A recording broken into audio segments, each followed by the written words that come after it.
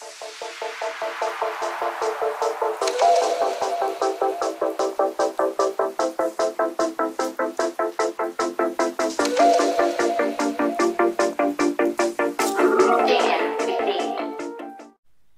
how's it going Scrub Gamers? Welcome back to another video here at Scrub Games and today I've got a special one where we've got the UK GE Top 16 Reboot Raditz piloted by the, none, the, the one and only Joe Revill from Team Ian, uh, Tien Beale. Gotta get that right. How you doing Joe? You've got to get it right man, you've got Yeah. to get it right. Team Beale, yeah, very good mate, very good. How are you doing? I'm doing absolutely fantastic. It's a bit hot today but we're getting through. Um, so yeah, so reboot Raditz. Uh, what was um, what was the reason for choosing this? Because I know there are quite a few in there, but you were the only one really who pushed through to get actually to top 16, which, in my opinion, is a quite a feat. Because I just see the leader as pretty trash. Because it's one, it's Raditz. Raditz isn't that great a character, and two, it's it's a leader a lot of people have like shrugged off, like shrugged off because it doesn't have any inherent draw and it doesn't do much different to what the old one does. So if you want to uh, basically just have a little t- say about why you picked it up. Yeah, I won't hear the slander about Raditz first of all, um, but it's uh, it is an interesting one because I I was a like I used to play Cell Surge like a Mhm. lot back in the day, and I've always kind of after it got slammed by the ban list been looking for a bit of like a natural successor to it, and you're never quite going to get to that level of silly. Um, Absolutely. but it's um it, it it's I was looking for just something to. Oh, have I got you? Yeah, you still got me. Yeah, perfect. Um, yeah, so I was just looking for something that was going to like fill that hand control gap. Um, I tried quite a few different random leaders. Mhm. Um, I tried like set to sell. Um, like the before they rebooted the leader, I was trying that with like the the uh, like cell surge, um, like package, if you will.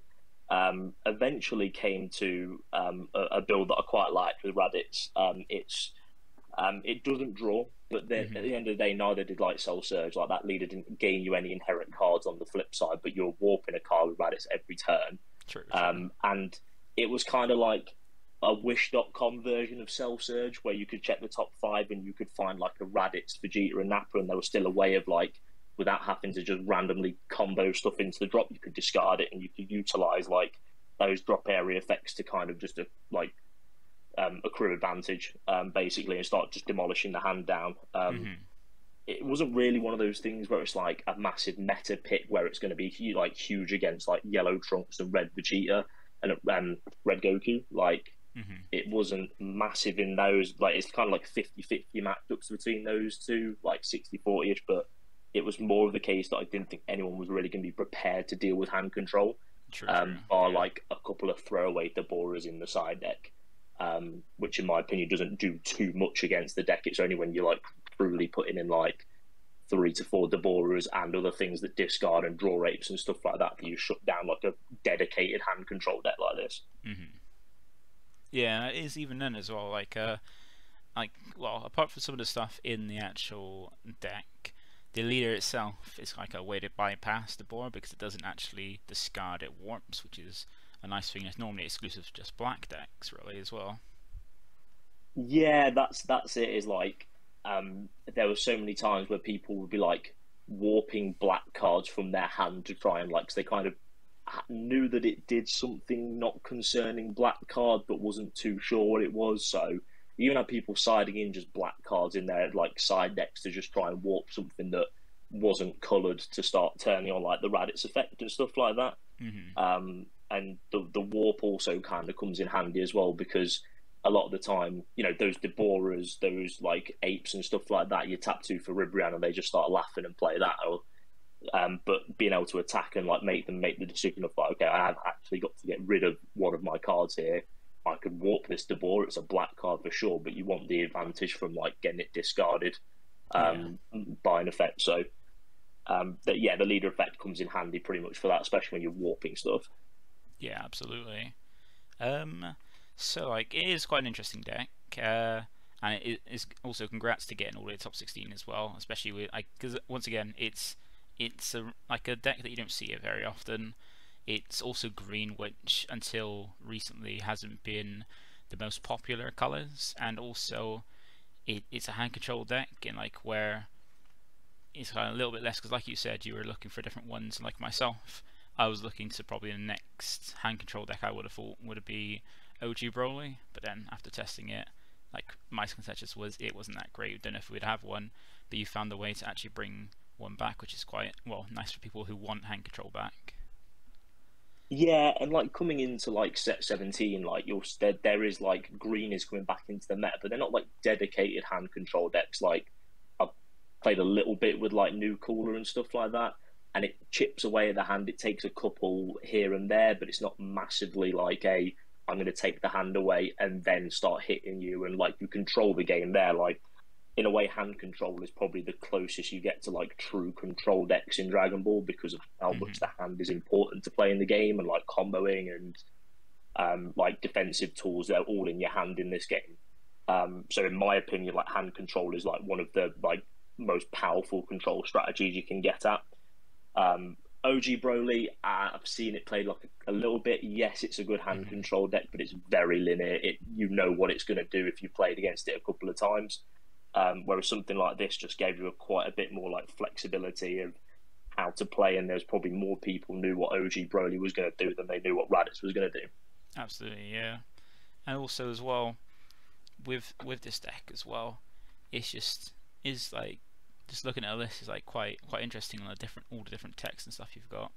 So um, before we get into all the like different like the reasons behind some of the choices and the text, do you happen to remember your matchups that clearly from the day? Because I know it's been a while since the event, but do you remember your matchups at all? Yeah, like I, I, for the most part I do, but like I wouldn't be able to necessarily go like massively in depth there. Let's say I think round one was Android 16. Mm-hmm. Um, round two was against my teammate um, against Yellow Trunks, um, which I lost um, to him. And then after that, I think I went for a couple of like kind of like roguish matchups after that. So I had like a, uh, I think I had like a green starter deck Broly, like green, like people were turning up with like off the goop stuff to this mm-hmm. tournament because, like, as you can see from this anyway, um, is like because it was such a weird format where you didn't have set 17 and you didn't have a ban lit, like you had the ban list in effect. Yeah. So everyone was just turning up with whatever like mad creations they've been cooking up in the basement to this one. So I like a green Broly. Um, I think I had another Trunks Vegeta.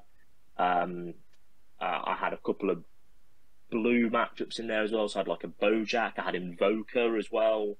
Mm-hmm. Um, and I also had uh, Syn Shenron as well. Was my last round. Oh yeah, like so quite a few different ma- matchups, uh, but still, it like, what was it? What did you end up going like X two wasn't it at the end? X two. So the only losses were to Trunks Gita, and then the final round against Geo Play in Syn Shenron. Oh yeah, I get. Was it Axel you played for your round two of the trunk Yellow Trunks? Uh, Oton. Oh, it was Oton. Oh yeah, yeah. Yeah, because that's yeah. that's the thing. Like, it's understandable with those two, because Trunks control enough cards like not really care about your hand destruction too much, and plus they can always discard off your discard effects things like the one drops to replay from the drop, so they're not really getting hurt that much. And then yeah, Giovanni with Syn. I got I remember for the day I got paired up twice against him, but it was repaired the two times, so I was lucky to avoid him and just stay away. And uh, yeah, Giovanni is scary with his uh, uh, Syn Shenron. So yeah, un- understandably yeah. quite strong, like quite strong opponents for the loss. So like uh, not too bad matchups in terms of like the reason behind the losses. But um, yeah, that was that was really good going through X2 and also proving a lot of people wrong. Because I remember like when I come when I come into the start of the event, there is like you said, it was like a weird format, like a special format where it kind of like seemed beforehand that some of the like it would be irrelevant because it's it's just like an in between bit where it's just like a one off and then that's it. But there's actually some decks that still could pass over, and as well with this. Like I heard there are like a load of reboot Raditz in the beginning, a load of mill decks between Chinimba Mill and Quarter Mill. So yeah, there's a lot of different, like, a lot of fun off meta decks for the for the event. And... I was praying to get matched against Mill member at some point because I saw a couple of them like knocking around the top tables, and that's just like the freest matchup in the world. There was a couple of guys mm-hmm. who sat next to me going, "I don't want to be paired with you next." I was like, "I really want to be paired with you next." Yeah. Um, because you just take the hand away before they like get anywhere near milling you out, and like that deck without a hand just can't survive as well. Yeah, because it's like it's like Mill's one of those things where there are some like it could do really well in a format, but then it loses very hard to hand control. And then if mill becomes relevant, then hand control comes back, and then like this could be a lot stronger. Uh, like it's one of those things where it basically like it's one of those things where like the meta, like depending on what the meta what happens to the meta, you can have things that can counter it, and this is a great thing for if it ever becomes a mill meta. Yeah, I mean this deck as well just kind of like like walks over like so many different rogue strategies as well. Like a lot of the time, like people practice their rogue strategies for like the big decks, like your U7 Goku's, your Trunks Cheaters, and stuff like that. Mm-hmm. Um, and they practice their rogue deck against it. Like DBS is in such a good space where you can pick up any deck you want to play. You can learn it. You can learn your matchups, and you can do well with it. You know, Absolutely. you, you look at you look at you look at Ollie at the moment with Bojack, and it's like he's you know he put the time into the deck and everything, and he reaps the rewards from it because he knows all his matchups. The amount of people who sit down to him and go like, "What does this do? I don't know what's happening here" until Mhm. they've lost um, in a big tournament. So, but then a lot of those rogue strategies kind of just like a lot of them need a hand to play because that's how you play Dragon Ball. So Yeah, and we get quite a few of those in the UK. Like even like Peter with his Invoker, like he's hard stuck to that. And you get like some people, yeah, like you said, people that just go with a deck that's like a little off-brand. Because that's the nice thing about Rogue, is that where people are mainly testing for their like uh, meta matchups, they didn't really prepare much for what could be Rogue, and then Rogue could surprise them because if you never come up against it before, you've got that, especially in the best of three, that game win to try and figure out what they're doing, and then you have to adapt on the spot for game two and three. And with with a rogue matchup, you normally if they don't know what you're doing, you've already run won game one, and then gives you a bonus because then you only got, only got to win one more game, and after you've taken the match. yeah, and you've got them like just looking there frantically looking through their side deck, going, "I don't know what to side for you. Like, what do I even put in?" Yeah, Um, which apart from like the two Deborahs, like the amount of times you ask people, "Oh, are you putting Deborah?" and they're like, uh, "No, I don't have those inside deck. I swear." Um, as they're sneakily putting a couple in. Um, I, returning to the Invoker point as well. I think Peter was actually my opponent, my Invoker opponent that I played. Um, and that's where like the warp effect of that Raditz like swinging comes in, like kind of clutch against stuff like Invoker because like Mhm. they, they have to keep on warping the uh, extra cards and stuff like that. So again, it's just one of those rogue matchups where all of a sudden this leader is just end up hard countering in a way. yeah, absolutely, yeah. Um, so with your list, it has quite a few different tech choices. Like you got some of the things you would normally expect for a, like a hand control deck, but some very nice uh, tech choices as well. So let's go over the deck, and if you want to go over like the reasons behind some of these cards, and like even if even for people who've never seen Raditz or played against Reboot Raditz for the main stuff, and also some of your tech choices as well. Yeah, so like starting with the leader, so we've we've spoken quite a bit about it already, but like I'll go quickly through that. Is every time it swings on an auto, your opponent chooses a card and sends it to the warp, so you don't inherently draw any cards. Um, which is where a lot of people kind of went straight in and was like, I mean, I was the same. I was like, when when the leader first came, I was like, I still can't draw with this. It's rubbish. Mhm. It's it, it needs to go. Um, but the more I started playing with it, the better it, it became really that effect. Um, activate main, you can check the top five cards of your deck just on the unawakened side um, and find a red or green Raditz, Vegeta, or Nappa card among them, add it to your hand, and then discard a card from your hand.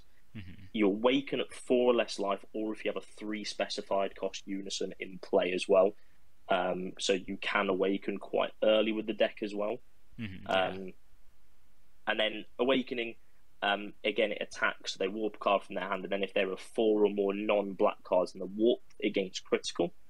Um, and you can also place four non-black cards from your opponent's warp to the bottom um, of their deck at the start of the main phase. So as soon as you've drawn and charged, um, you put four back, and then you gain triple attack as well. So that can help close out games, as well as if they've been like overwhelming and they've got loads of cards in their warp, you can like triple attack and every strike, every hit's critical as well at that point as well. It's yeah. uh, it's pretty mad. Um, going through the main bit then, so like I, I have like a few of the like the first bit is like uh, your targets um, for that activate main on the first side Mhm. um, is you've got first of all Wicked Saiyans is your SCR um, because this card is searchable because it is a Raditz card. Um, this is such a strong like on curve SCR. Um, turn two, like the earlier you play the card, the more like backbreaking it is because it's almost like your fifth copy of Ribrianne, so it's going to force a discard two on turn two.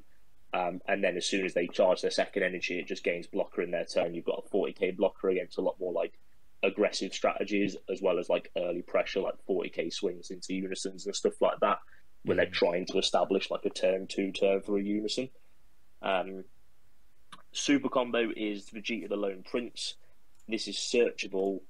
Um, again, some people might not know what this one does. Is like it's just a simple draw one super combo, but you can play it for one and your opponent discards one. So especially late game, you can start tapping like tapping one to like those times where I was like had accumulated like three or four in hand from leader effect, and I can just go like tap one to play Vegeta, discard one, discard one, discard one, discard one, and like you play like three or four super combos to the board, take four cards out of the hand, and then swing with the leader, warp another one, then just combo them all away into some massive swing. Um, and, you get the really draw good. as well, which is really nice. Uh, like it's, it's a, lot better than most uh, super combos where you get to play it to get a discard, and then even if you combo off a board, as long as you're four less life, you get the draw one as well. So you get essentially for each one a discard, and then after that swing and get the draw back. So you're literally just doing like just making use of your energy, which is really nice. Yeah, just just value. It's you know like you play one energy and you get a draw, and they discard as well. Um, it's just so much. And then, um, like, yeah. the, the, one I'm really interested in is this uh, Prince of Destruction Vegeta, Prideful Warrior because this this is one that now cause I've been playing a lot of green recently, and I I do like the green decks. Like some of the green decks are quite interesting, and this is a card now where I've like is almost like a staple one of in all my side decks now for green decks because of the fact that it's a, something that most decks don't have, which is unison removal. Yeah, so and you'll you'll see this with the deck moving forward as well, like because um, there's there's also that five drop Majin Buu that I'll cover in a bit as well. Um, is that like Majin Buu and Jiren particularly are two just obnoxious unisons to get rid of. As soon as they come down to the board, they just sit there, mm-hmm. and they're just so difficult to clear. Like in the original Cell Surge stuff, you used to be really good at getting rid of them because you play like the Dark Broly unison, uh, which can remove a marker itself and swing with double strike, and that was like a consideration unison for the deck. But because you don't draw, you don't discarding a card every turn with a unison and not seeing extra cards as well can get really clunky. Um, and you end up with a lower hand than your opponent does when the whole point is destroying their hand. Yeah. Um, th- this Vegeta is searchable um, off the activate main effect as well. Um, and it was it, like there was a couple of matchups where it came in and it almost became its own like win condition. Mm-hmm. Um, there, there was a game against um, like the Green Broly starter where they were playing the Bardock Unison, um, and it was kind of again that unison was another thing that was just difficult to get rid of. It had upticked itself, and I'm sat there with like stuff like Wicked Saiyans in hand that will just get immediately taken out of the combo area, and I'll just lose my SCR for free. Mm-hmm, um, yeah. So being able to play that, and then you get like the servant effect on top of it, so it turns to 30k triple. Um, so any unisons that have got out of hand, you take three markers off straight away, and you can then just like swing into them, and like one card kills it, or like against blue, you just go bring it down, take the Majin Buu off the board after hitting it for like one time because they go, it's fine, I can just take one. That that's fine, and then you just play it, kill the Buu immediately, and then go like swing at the leader for triple, thirty k. Yeah. Um, and and if they're on three life at that point, then like you just shotgun into that attack basically. Yeah, like it just like after seeing your list, just literally my eyes is true to that because as well the SPR is so nice, and it's just such a nice tech for like something that isn't viable, like isn't available to a lot of uh, a lot of decks, and that's just yeah, because like you said, the Buu Unison is really hard to annoying. Just be able to just take one mark off it with a leader swing, and then drop this, just get rid of it and safely swing at the lead, is something you don't get outside of many decks. Yeah, and you tank the Jiren hit as well because it'll minus ten something, but you like you don't mind just drop because with servant you're still at twenty k, and mm-hmm. you can remove the three, get rid of it again because that the the Jiren unison as well is right up there in my opinion with Majin Buu is just a completely degenerate unison that is just so difficult to like clear off the board. Like any three marker twenty k unisons are just are just snapped. So having yeah. an answer as free as that, and it comes in with deflect as well, so you can't even like um, God sealing it as well. So it was just it's so good. I mean, like a nice little one of like I wanted to try and maybe fit a second one in the side deck, but space is tight. Yeah, and with the these Raditz as well, like is there a reason for not running a full four of the one drop? And what was the reason behind the ever free drop one? Yeah, so there's a couple of things here. So the one drop one is really good, but it's only really good late game. So having four of them, it just felt a bit clunky because it doesn't actually draw anything until there's two non-black um, cards in your opponent's warp. Mm-hmm. So you can't just cantrip and draw one. You have to wait for the cards to get into the warp. And sometimes, even if you like say you lost the dice roll, you don't get there until like turn three. And seeing like multiples of them in your opening hand um, just kind of felt a bit clunky. Mhm. Um, so I moved to this three drop one that I spent the longest time trying to find this card. Like uh, we we we've been going to locals every week, playing out the same TP pack. I've got about ten of that bloody Teles Persuasion yellow four drop knocking around, but I had Oh, yeah. zero of this card. So shout out to the guys at Dice Cup for coming in clutch and finding me this promo. Um, it's just a basic tournament promo. Um, but basically, whenever your opponent has a card warped from their hand, you tap one and play it. It's a blocker and it kills one four cost or lower battle card for every two non black cards in the warp. Um, and it was just really like it was a really handy card. I didn't play it an awful lot, but the theory behind it is you can mop up some of these like low to the ground boards against stuff like Red U seven. Um, you know, if they've had a turn where they've like seventeen and they've like got and they've like freezered as well. Mhm. Um, being able to go one energy and KO two battle cards, and then also have a blocker stick on the board that kind of forces a play o- off them. So then, like next turn, if they want to clear the blocker, they'd have to play like a Vegeta or a Frieza again, which then gives you the opening to charismatic villain in response, and kind of um, it, it puts you ahead quite a bit on the card advantage side of things. So it was a nice couple of to like find, but it didn't really come up that often. But you need you need targets for the effect, otherwise you can end up whiffing a lot and not getting some of your discard pieces in the drop. Yeah, that makes sense. And then um, with the as you said, like with the leaders leaders uh, awaken side to be able to like awaken a higher life total without having to go down the four, you can evolve. Well, you can awaken as long as you've got a un- green unison card with a specific cost of three, and you chose the Metacool, the terrifying horde.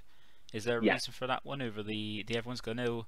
I can't remember many of the other ones. I know there's the Dark Broly one, which is like a pop- really popular one, and I think the there's like a King Vegeta one that goes through like his barrier removal, and then the last one is like the Nappa, which is alright. That came with the leader. Oh, the Nappa garbage. Like it, it, it's so it, it basically the the Nappa is just a, a, a wank version of the King Vegeta Unison, um, which you'll see in the side deck there as well. Mhm. Um, the Meta Cooler is a lot like I, people. This Unison keeps flying under the radar. Like it is absolutely snapped in half, broken. Like first of all, your uptick is discard one, draw two. Um, for a leader that doesn't draw any cards, that's really good. And especially a leader that sits there with four Ribrianne, three Saiyan Instincts, and two um, Bardock the Eliminator that you want in your drop, um, with three overarms that you want to fuel as well, it's really good. Um, Yeah. As an activate main, you just sit there and grab a token, um, which is 15k and 5k combo power.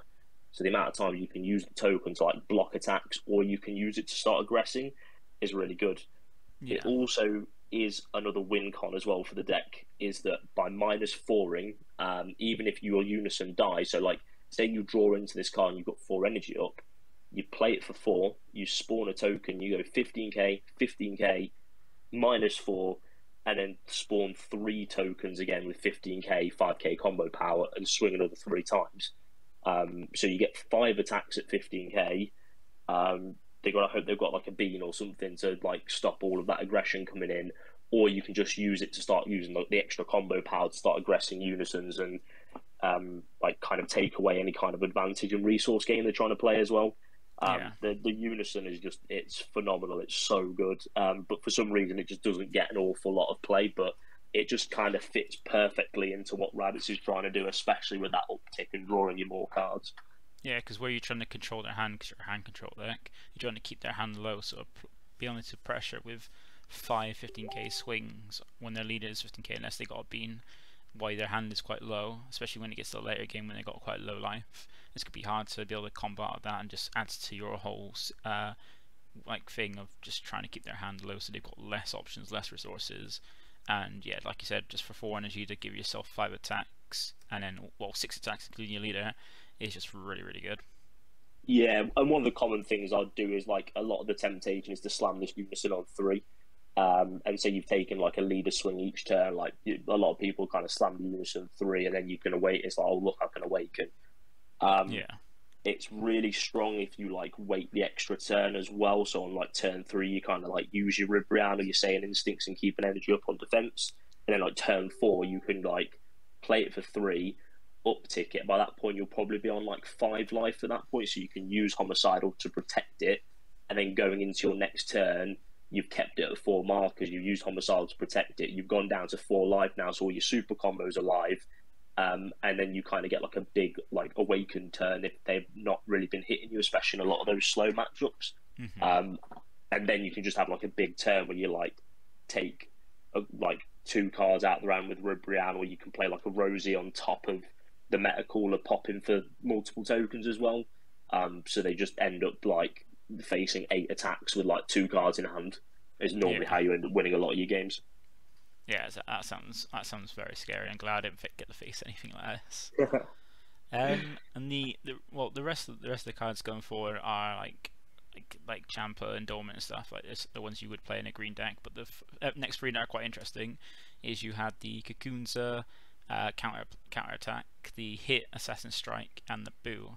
These ones are quite interesting. And now like, with the Kakunsa, I imagine that might have been a main deck tech for U7 because really green is one of the few well it was the only colour that really doesn't have the like easiest kind of tech to deal with the U7 eight like eight drop Goku before it attacks.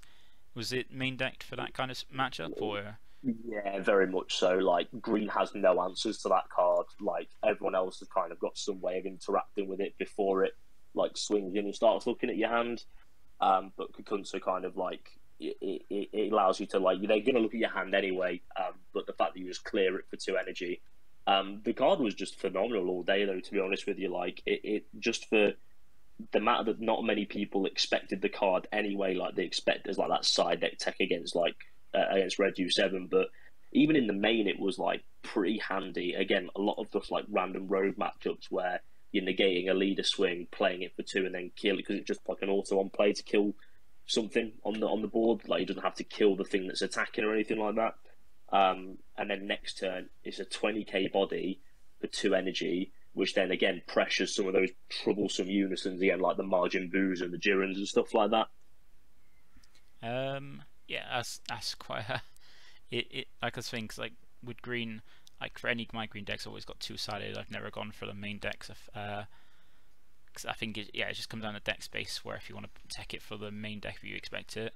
But um yeah it's, it's an absolutely necessary like card for green now if, if the main aside for that matchup because U7 is going to like it's not going to go anywhere until it gets hit in some kind of way which is going to be a wild in line 'cause it's not too strong but it's not like weak per se um No, it- it's just come out as well. So like, it is very like you know you're not going to see it on the ban list like the set after it's come out and stuff like that.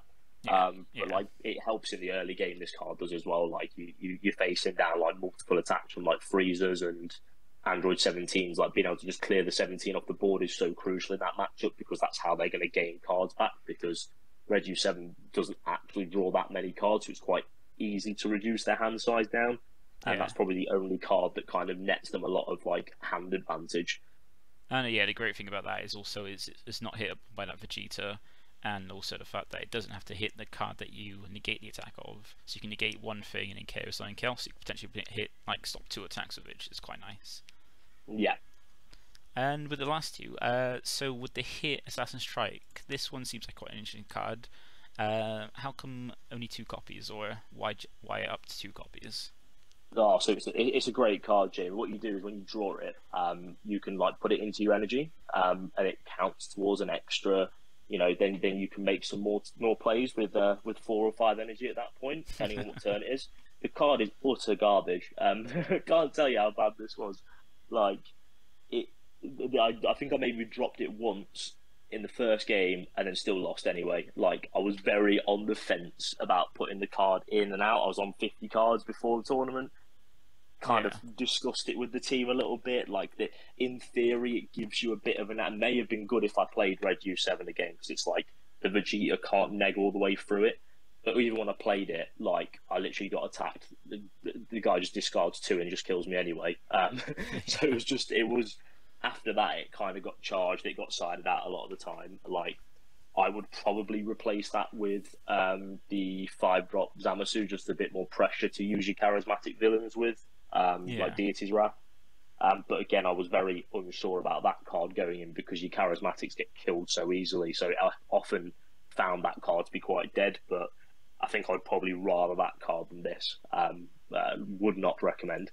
Yeah, because on paper it seems like quite strong. Like with the first also like play it cheaper, it seems like especially in this deck, like it needs a green battle card to attack NKOs. I think, which as soon as you see this in the combo, you're right, you just think, right, I'm gonna need to out combo this so he doesn't gain more advantage. And Raditz isn't the greatest with resources, so like trying to get a green battle card to play and stick and NKO something with this in the combo seems quite difficult. But then depending on the situation, like if you can get a unison out in the next turn and hardcast this, it seems like it'd be alright, because then you could potentially back it up with Dawn potential to, to discard too. But then that seems quite situational, and uh, a lot of decks are now maining barrier removal, which makes it less effective. That's that's the thing, right? It's like in theory, it's quite nice. 'cause again, it's something that pressures that Buu unison because it's two 20k swings with barrier as well. So like in theory, there's quite a few uses for the card. It's just in practice, like because again, like when you combo it, combo with it, if you've got a green battle card, your opponent is forced to then like they they'll make a decision of whether they want to combo out of it, and that in turn kind of works towards the strategy. This is like all a theory crafting behind the card, like whether it never came up in practice anyway. Um, Yeah. But that means that they're forced to discard more. So if they panic and see this thing, I don't want you to play that for two, and start comboing extra cards over something they don't need to do, um, that kind of works towards what you're trying to do anyway. Um, Mhm. But realistically, there's like so many better plays that the deck was doing with that like four energy um, that I just never wanted to hardcast it. And you're very rarely swinging at stuff which is big enough as a green battle card to actually trigger that plus that um to energy play. So uh, Yeah. garbage cards. Yeah, I, I, I can imagine like just yeah, the Prince of Vegeta uh, four drop is a lot more value than that as a four drop really. Yeah, hundred percent.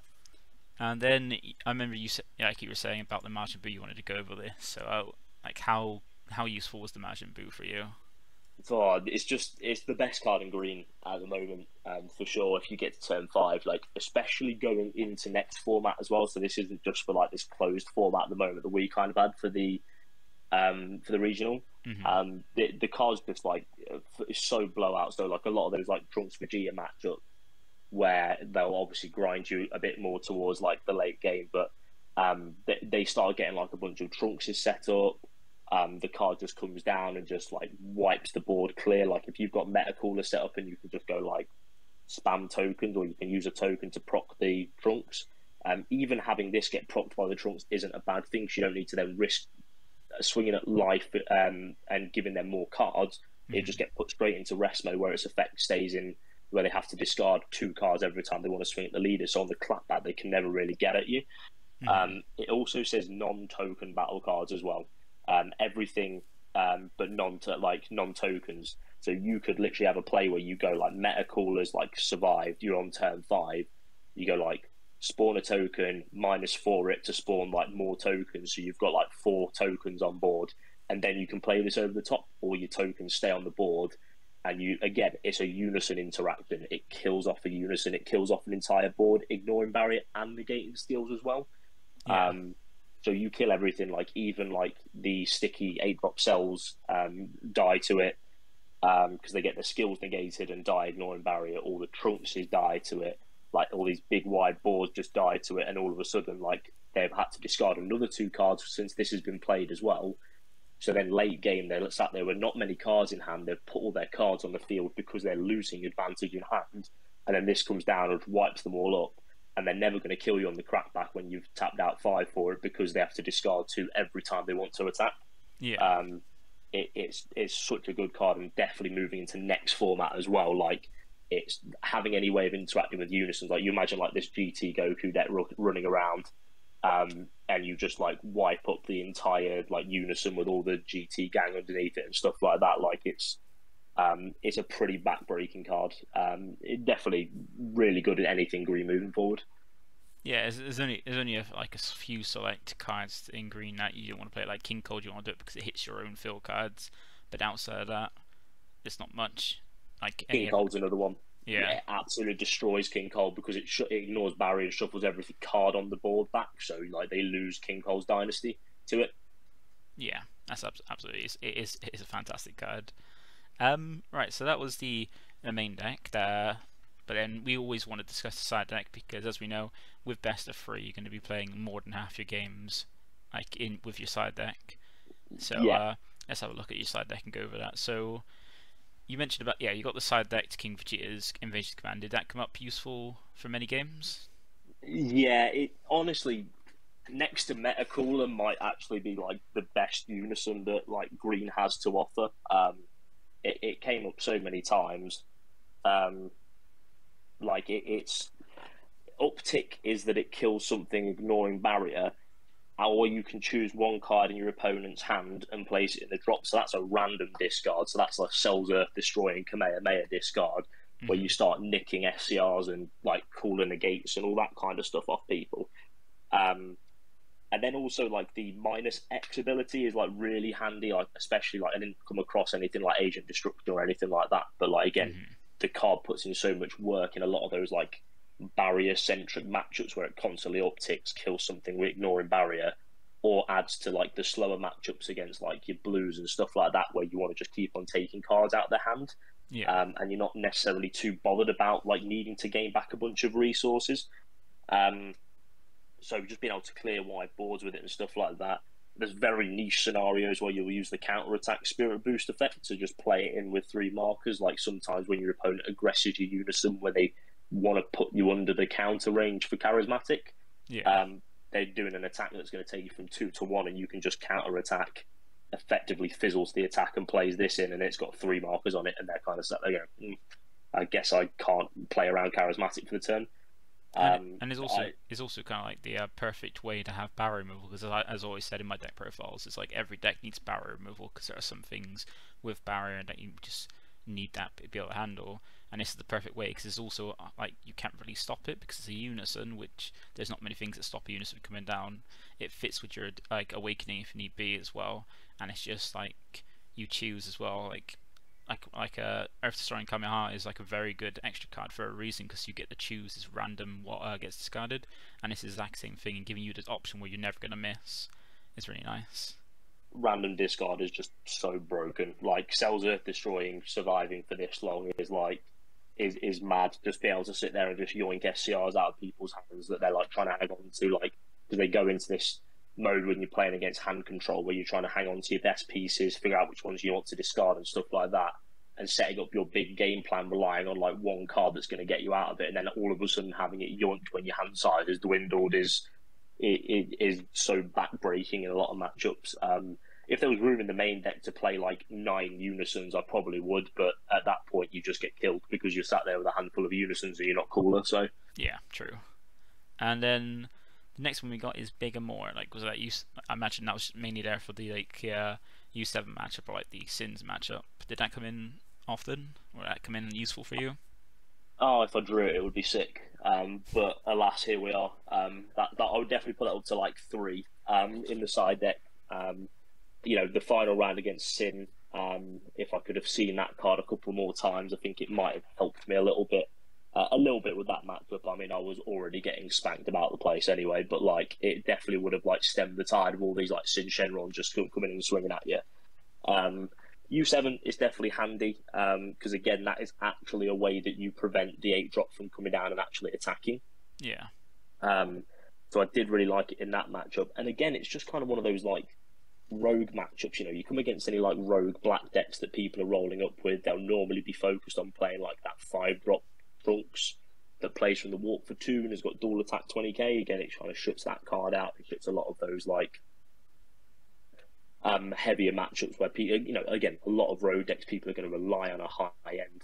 Um, it was, you know, I've sided it in for Invoker as well because you shut down the win con of that deck when they try and go into the Instinct Surpassed at the top chain of that deck. So loads of different random matchups that it, it works with.